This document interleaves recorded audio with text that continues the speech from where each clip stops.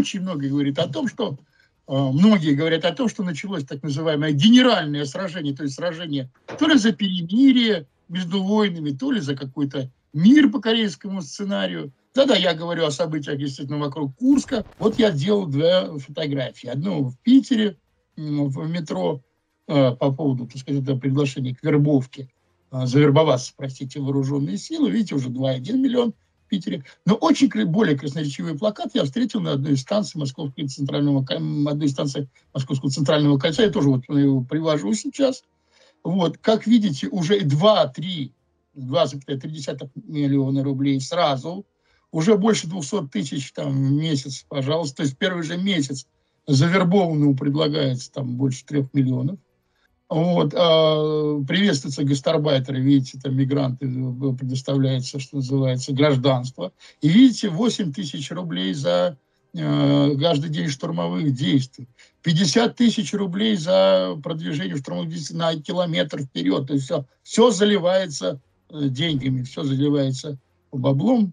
Вот. И о чем это говорит, ребята? Вот любой западный там или враждебный разведчик сразу же сделает выводы, потому что, что людей просто-напросто очень не хватает, что прежнего потока контрактников недостаточно. Он сразу сделает вывод о том, об уровне потерь, между прочим, и об уровне, э, и о, так сказать, потоке ныне желающих заключить контракт. Зачем все теперь заливается такими деньгами, что называется. А, вот э, у меня сразу же, да, и посмотрите, барский подход к делу. Мы вам бабла немерено там, и отстаньте от нас. Вот, там решать как-нибудь колупайтесь сами. Вот эти плакаты, они говорят об очень опасной тенденции, о том, что враг выбрал время для Курской операции достаточно вовремя. Потому что по этим плакатам видно, что, в общем-то, как отчаянно наше начальство пытается избежать второй волны призыва мобилизации резервистов. Вот. Посмотрите по росту вот этих цен, даже расценок называется. Это обо многом, многом говорит и о том, что а, надо войну действительно, так сказать, характер войны, э, военных действий менять. Ну вот, то, то так сказать, та история а, с гражданской войной в США, а, если вы почитаете избранные военные произведения Фридриха Энгельса, он говорит, что а, он тогда еще писал в ходе войны, уже тогда был военблогером, таким по нынешним меркам, он говорит, что ввести, так сказать, войну нужно революционным способом. За север болел, за северян, а не, в общем, таким вот привычным путем. Ну, ну, а как, собственно говоря, обстоят дела вот с этим вот переломом, который, который вроде бы должен состояться – Иначе придется, к чему толкает враг, объявлять еще один призыв резервистов, как осенью 2022 года. А это, кстати, угроза. Они специально подталкивают наши власти к этому, зная, что наша власть этого очень-очень боится. Потому что, как вы понимаете, э, призывать придется очень многих. Вот это может вызвать болтанку и, так сказать, острые события в стране, поскольку, как вы понимаете, Э, собственно, силовое снабжение с 2022 года не улучшилось. Сейчас Министерство обороны находится там, сажает генералов, э, там просто естественная дезорганизация. Да и, в общем-то, э, как мне говорят, как доносят с фронта, в общем, в том же Курске, с тыловым снабжением очень-очень большие проблемы. Вот чтобы сейчас призвать, а, призывать там полмиллиона минимум, вот, это столкнуться с теми же проблемами, что ничего не хватает, что надо собирать за свой счет, закупать и прочее, прочее. Поэтому, вот, собственно говоря, враг и пытается поставить нас в это положение. А, ну, давайте посмотрим, что же происходит на Курском направлении. Я сейчас не хочу брать э, э, вот эти вот мелкие подробности, поскольку они устареют уже буквально на следующий день. Но идет третья неделя, получается, вторжение. Э, начало э, входа в ВСУ. Что же мы видим, ребят? Идет попытка, ну пока сейчас, видите, остановить на земле э, распространение расширения плацдарма. Вот, э, связь не держим, вот, с нацболами, вот, с лимоновцами поговорили. Вот, и я не хочу вас травмировать подробностями. Вот, но на месте Министерства обороны я бы сейчас бы очень сильно озаботился бы тыловым обеспечением переброшенных с Донбасса войск, потому что ну, воевать а, с тем, что ты привез с собой, ну, в общем-то, долго нельзя. Опять же, нужно а, налаживать связь и вообще прояснять обстановку, чтобы войска знали вообще, где происходит, где линия соприкосновения. То есть э, положение а, войск ВСУ и наших относительно друг друга. Вот не хватает, знаете ли, электронных планшетов. У каждого, э, так сказать, хотя бы у командиров, чтобы видеть текущую ситуацию. я пока воздержусь, что называется, от э, каких-то подробностей. И мы оказались в очень-очень э, неприятной ситуации. Наши войска на фронте натянуты как кожа на барабане, потому что фронт растянут. Э, мобилизации резервистов не было. Э, войск не хватает. Курск показал, что, ну, понимаете, даже границы Э, не прикрыты. При этом создание дивизии, так сказать, территориальной обороны народного ополчения, как Александр А. Смухарев еще в прошлом году говорил, оно не осуществлено, и даже сейчас э, решение этого не принято. И поэтому мы попали в какое неприятное положение. Враг выбирает, где нанести еще один удар, подобный Курскому. Эта ситуация, ну, прямо, прямо скажем, малоприятна.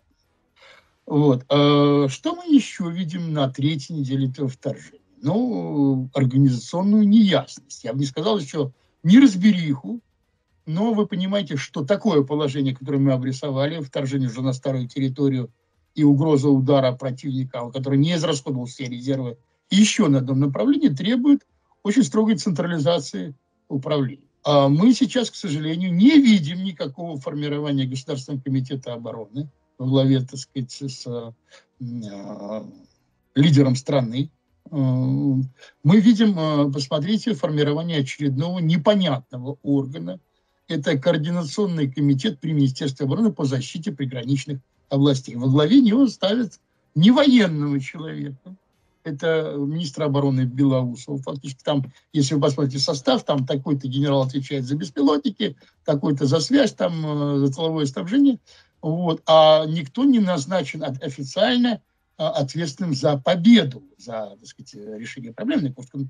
Ну, читай, это глава Координационного комитета, а это Белосов. Обратите внимание на начальник генерального штаба, э, так сказать, Герасимов, он туда вроде как не входит. Это значит, что, понятно, что Герасимов кандидат на, так сказать, э, ответственность, да, на, на такое, так сказать, животное отпущение, хотя как понимаете, именно он, естественно, прозевал, его структура прозевала это нападение, но это тоже говорит уже о некотором конфликте и э, верхах. Но поймите, э, зачем создавать владеть сущности сверх необходимого? Зачем координационный совет при Минобороны, который должен, на самом деле, э, выполнять задачи, те задачи, которые выполняет Генеральный штаб. Так надо создавать Госкомитет обороны и ставить настоящего, так сказать, нового, адекватного главу Генштаба. Этого не происходит. И, честно говоря, это удручающее обстоятельство. Это пролог к э, организационной неразберихе, вот, такому штабному, штабно-государственному параличу, которого, в общем-то, противник, я имею в виду главного противника, и добивается. А высшее руководство, ну, видите, поездка в Азербайджан, посещение, так сказать, Кавказа, вот, рассуждение о кабардинской пастиле, это знаете, на самом деле, э, все-таки сейчас уместно отложить некоторые вопросы, было бы отложить вопросы внешнеполитические и ехать в Курскую область. Вот. Но этого не случилось, как и формирование Госкомитета обороны. Я слышу, как очень многие говорят, что это авантюра со стороны, через, конечно, очень рискованный шаг со стороны Киева, что на самом деле э, Киев потерпит полный крах, и совершенно неважное стратегическое направление, там неудобная позиция, как говорит Сергей Переслегин. То есть прекрасно вроде организованная операция, но не в том направлении, где он точно, собственно говоря, совершенно, так сказать, не э, добьется никакого успеха, остановим, разгромим и прочее, прочее. Но вынужден допустить совершенно другую так сказать, интерпретацию того, что произошло, ребята. Потому что с той стороны сидят отнюдь не дураки. Мы в этом с вами убедились. А, и тут я хочу вот, на свои заметки, чтобы ничего не упустить, ребят. За Курской авантюрой стоит, между прочим, очень-очень трезвый расчет. Главное в этой операции отнюдь не занятие территории. Даже не прорыв к Курской атомной электростанции, к Курчатову и не Курску самому. Это будет приятный бонус, если они добьются этого. Главное в, э, в запуске сказать, механизма внутреннего кризиса Российской Федерации на то, чтобы взорвать ее изнутри. Вот их главный, самый, так сказать, генеральный расчет. То есть по мере длительной войны все недостатки э, прошлых постсоветских лет, они все больше сильнее, все сильнее выпирают. Вот, они становятся бомбами, уже не ленинскими бомбами под Российской Федерацией. Вот эти бомбы они пытаются привести в действие. А я в случае, в общем-то, самого большого э, удачи, фортуны для ВСУ, мы вызовем, они рассчитывают вызвать раскол и замешательство в самих верхах Российской Федерации. Но, укрепляясь, э, вот добившись прорыва на Курской Юдоге-2, укрепляясь там, чего они еще получают, какие выгоды. Первое. Усиливают позицию Киева на вполне возможных вот будущих переговорах по перемирию, по прекращению огня. Второй момент. Вот таким ударом они очень воодушевляют собственное население, собственные войска – и подрывают международные события, э, простите, международное положение, международные позиции Российской Федерации. Ну как же, какие же победоносцы, если у вас такое встречается. Третий момент, который они добиваются, вот они укрепились и создали, создали перспективу. Вы будете, ну, вы не нанесете, собственно говоря, не проведете никакой воздушной операции, вы придете, вам придется на земле вытеснять ВСУ из Курской области. А это создает перспективу вот разрушения городов и сел Курщины при выдавливании вот ВСУ за границей. Уже порождает гуманитарный кризис. Ну вот, вот момент, когда я записываю э, это, этот материал, 130 тысяч беженцев. Это очень много. Это на Курской области. И вот не хватает Государственного комитета обороны, который решал бы оперативно еще проблемы с беженцами. Вот это еще один кризис. Вот это та логіка, тот замисел, собственно говоря, операції. Попри все, ми, шановні глядачі, вистояли і обов'язково переможемо. Бо разом ми сила. Підпишіться на канал, ставте вподобайку, пишіть свій коментар та поширюйте цю інформацію.